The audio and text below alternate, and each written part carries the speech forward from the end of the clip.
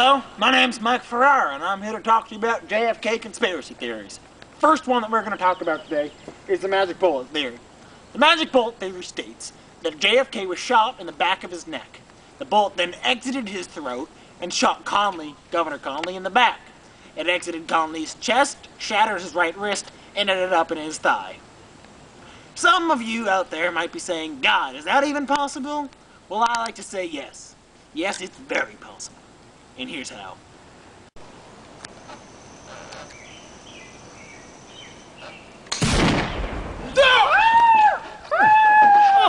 Yes! Yes, it is far-fetched, but some believe that that is what happened. The next theory that we're going to talk about today is the grassy knoll theory. The grassy knoll theory states that while President JFK was riding in the parade, off in the distance in the grassy knoll, there was a killer hiding who shot President JFK from that location.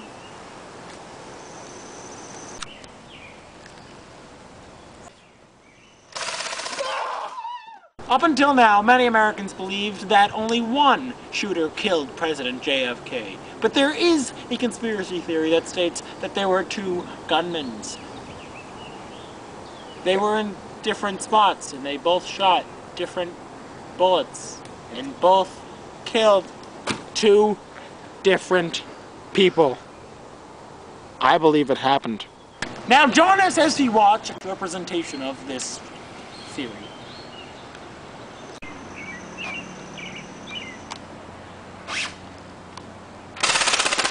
Jesus Christ!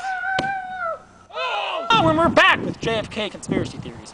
During the time period of President JFK's assassination, many government officials, as well as many American citizens, wanted to go to war in Vietnam. However, President JFK was not in favor of that plan.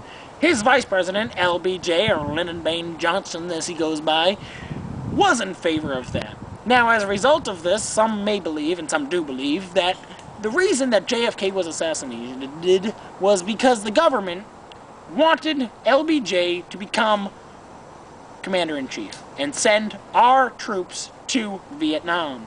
Now you must be saying to yourself, does this mean that the government ordered this assassination? I don't know. Does it, America? Let's find out. Hello, Mr. Johnson.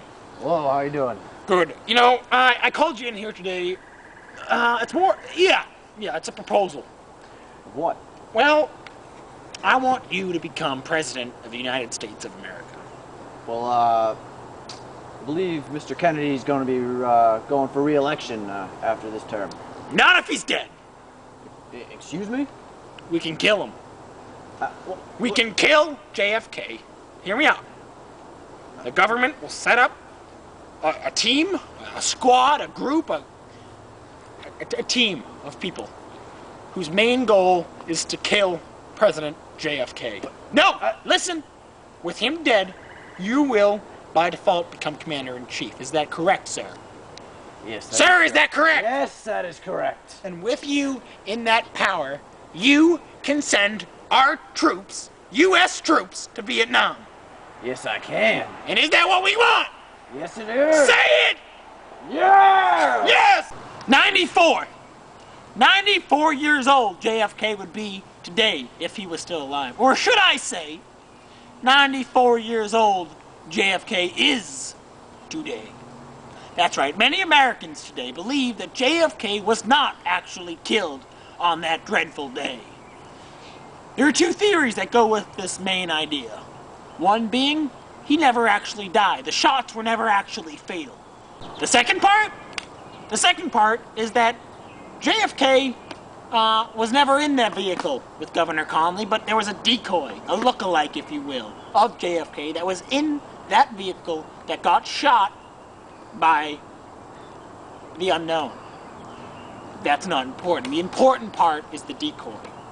And, and what we need to find out today on this show is was he a decoy or did JFK, the actual JFK, get shot that day? many theories were presented today. Many theories that talked about how or if President JFK was assassinated on that dreadful day. But it's not up to me to tell you, or I don't even have the right to tell you how he died, or if he died at all. But what I do have the right to tell you, and what I what I am here to tell you, is that on that dreadful day, the grass was green, and the sky was blue. And what happened to JFK is up to you. That's right, you. It's up to you, Steve Hallis. It's up to you, Tom Letellier. It's up to you, Mr. Riley. You all have the right to decide what happened to JFK.